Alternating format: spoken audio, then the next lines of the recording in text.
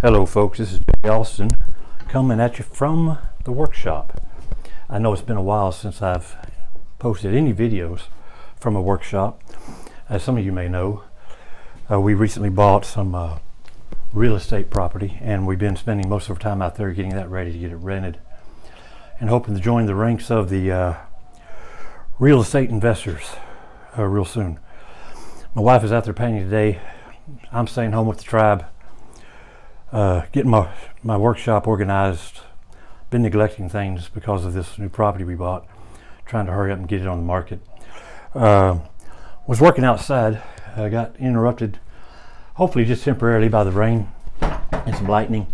So uh, thought I'd come in here and do a real quick uh, review on Harbor Freight's Central Pneumatic Mini Air Palm Nailer. If uh, none of you or any of you are not familiar with this, as I really wasn't, um, it's exactly what it says. You see how it fits in my palm.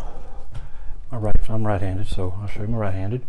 There you go. It's a little small thing, and he only fires one nail at a time. This is a pneumatic tool. I've got him hooked up to my uh, trusty California Tools super super quiet air compressor. Uh, he's only goes up to 90 pound, uh, 90 psi, and this is what this tool is uh, ready for. There's the rest of the specs if you'd like to see those. I got this guy on sale um, in a parking lot sale, one of their annual parking lot sales or semi-annual, and uh, like eight ten bucks. And I've never used one, really never been familiar with them at all. So uh, I thought I'd give it a shot. Got a piece of 2x4 here, scrap 2x4, clamped in the vise. And uh, you might be able to see over here I was uh, already practicing with him to just make sure he worked. Hooked him up to there, got him up to speed, and uh, did a couple of practice runs with him. That's about as far as he let this guy go. He's about, a, I think, 18 penny. Correct me if I'm wrong, but he just stopped right there. I don't know if he hit a a knot or what, but he won't go any farther. The rest he did fine with. So uh, I turned to the bucket of rusty nails because I don't like to use my good nails, my brand new nails, for experiments. So I always keep a, a bucket of rusty nails around, and uh, you see that? And uh, I go to him from time to time when I want to do some experimenting or just want to have a have run out a certain size of nail. I don't mind taking the time to straighten them out. It's not hard A few minutes. Where's it? Come on, come on. There we go. Okay, there you go. Got it. So anyway, but I'm to start with the, start with the small ones first. This is uh, again the Central um, Harbor Freight's Central Pneumatic Mini Palm Nailer. It's an air tool,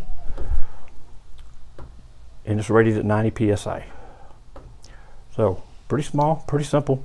You got a magnet inside here, of course your couplings the magnet goes in here, or the magnet's in there, and you simply stick a nail there, and he's not going anywhere, as you can see. So then you bring him over to your board, where you're ready to nail. Let me focus in for you guys. Hopefully you can see this better. Let's see what it got. Whoops, I just bent it. Ah, look at that. That was my fault. I was trying to do it left-handed. I'm right-handed. Let's try to do it the right way without blocking the camera. All right, he's, he's again, magnetized. He's ready to go on the board. Can try to keep as straight as I can. One hit, and he's in there. Now, of course, he's not fastened, but give him a shot.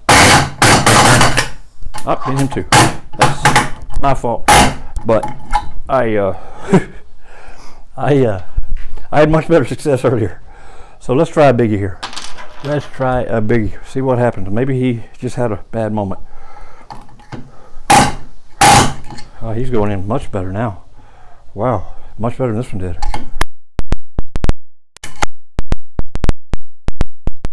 This is his limit. The limit on this one, I believe, is three and a half inches. I believe that's the limit. Uh, and again, is sufficient and set on the right. Maybe a little higher. No, that's ready. That's on the money. Let's see what it'll do. Well, you get that one. Let's see if we get a successful one all the way through. Try a smaller one here. Sorry for the camera work, guys. Never was good at it, and I'm only getting worse by by not doing it regularly. So anyhow, back in business. So where were we at? Right there. See what he does. I'd like to get him out of the way for you. Let's see if we can get away without bending this one. Yeah, that's better. There you go. He's well. That was my fault. I got him in the angle, but he's still going. Now I him. No, I didn't. No, I didn't. See if I can straighten him up a little bit. Nope. Um, it works much better in practice. Yeah, you know, theory and practice. That's the way it works. Uh, not now.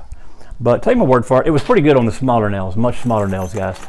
Honestly, when I use this guy in the job, um, I'm way too impatient. Uh, I'm way too impatient. I would just much rather go to this guy. But for a fun little tool, I think it's kind of cool. And if I happen to have the air tool out, their air compressor up and charged and pressurized and running, and I find I got to hammer a few nails in, I may pull him out just for fun. But as a pro tool, no way. And even for me as an amateur tool, ugh, man, no way. Uh, get you a like an 18 gauge pneumatic gun. Uh, I think Central Pneumatic makes those, and I know I have one, so maybe I'll do a video on him. Hopefully, he'll come out better than this one. But anyhow, just thought to show you this guys. See, I still think it's kind of cool. Good idea, but one nail at a time and not a whole lot of power. Maybe it's operator error.